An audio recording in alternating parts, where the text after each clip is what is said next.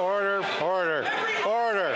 A pivotal debate for an unprecedented crisis. What basis does this minister make to claim that there are violent extremists in Ottawa? Members opposite were out there taking photos and encouraging those protesters to keep honking in the middle of the night. Or are we just having to clean up the mess for the failure of what happened here in Ottawa? The federal Liberals forced to make the case for invoking the Emergencies Act.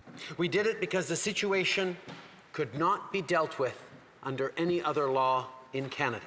But the Conservatives and Bloc Québécois say the protests paralyzing the capital doesn't merit the response of never before used powers. These folks would have moved on had the Prime Minister decided he wanted to actually listen. The opposition points to blockades cleared at border crossings in Alberta and southwestern Ontario as proof Ottawa's can also be moved without special measures. We will withdraw our support if at any point we feel these powers are being misused. The federal government has the support of the NDP. History will not be kind to the leader of the NDP or his members. But Jagmeet Singh criticized the interim conservative leader's support of the protest. Do you regret endorsing a convoy that is attacking the fundamental democracy of our country? As the debate goes on, the new powers are already in effect.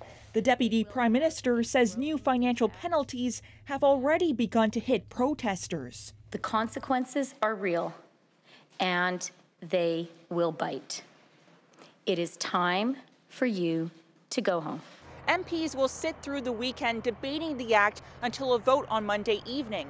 It's expected to pass, putting it into effect for 30 days or until the government lifts the measures. Olivia Stefanovich, CBC News, Ottawa.